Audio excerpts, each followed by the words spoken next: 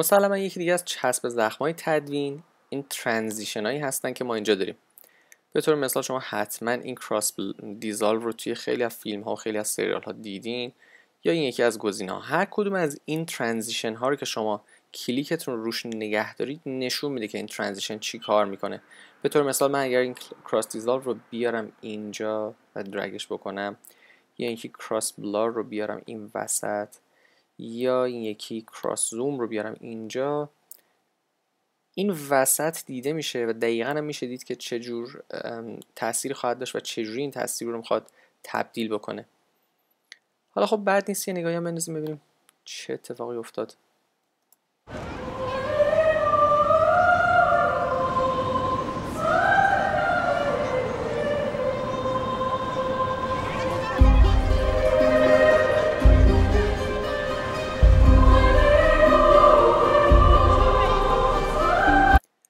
از این یه دونه من اصلا خوشم نیومد. می‌تونم روش double click بکنم می‌تونم بیام خود این transition رو بزنم و از همینجا جابجا بکنم.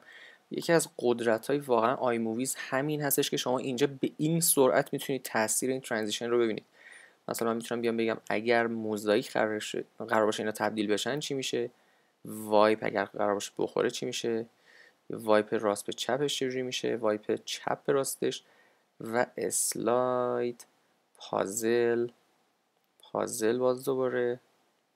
دایره باز شدن یا بسته شدن. spin. به سمت بیرون به سمت داخل. fade به سیاه fade به سفید. صفحه خوردن و دوباره صفحه دو. و ripple که خب این هیچ رو فکر به درد اینجا نمی‌خوره. من فکر کنم باز همین بهترین گزینه باشه. شما زمانش هم از اینجا می‌تونید تعیین بکنید که الان چهار دهم ثانیه است. من میکنمش 6 دهم ثانیه. و یه نکته اینجا شما دارید که نوشته overlap all maintain clip range. شما اینو می‌تونید بزنید maintain project duration. اگر پایینی رو انتخاب بکنید زمان کل رو سعی می‌کنه حفظ بکنه. اگر بالایی رو انتخاب بکنید سعی می‌کنه زمان کلیپ رو حفظ بکنه و به اون وفادار بمونه. من اینجا خود کلیپ رو انتخاب می‌کنم done رو می‌زنم و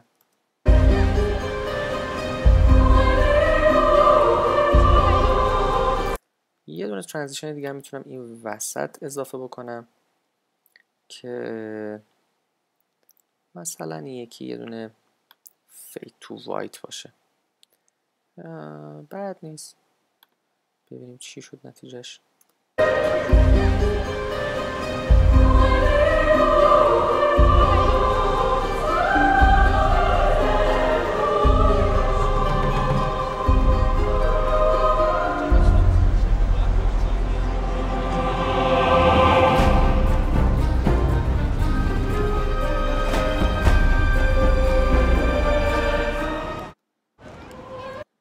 بله این آقا اینجا خیلی با سوال اسطوره‌ای اومد اینجا تو صف بلیت وایساد با این آهنگ.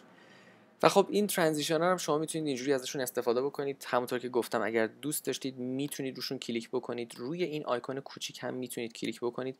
precision editor شماست که دقیقا همون کار رو می‌کنه. اگر خواستید طولانی تر بکنید زمان این transition تون رو دقیقا می‌تونید ببینید که از کجا تا کجا رو داره تاثیر می‌ذاره.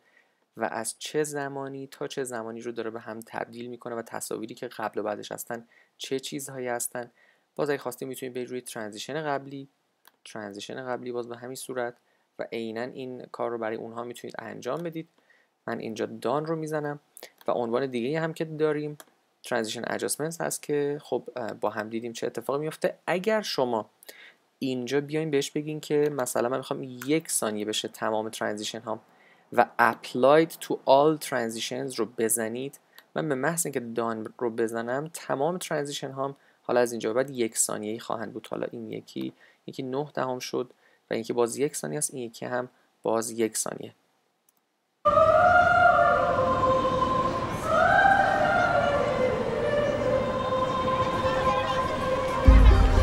خب این هم از چسب زخمای دیگه ما توی آی موویز.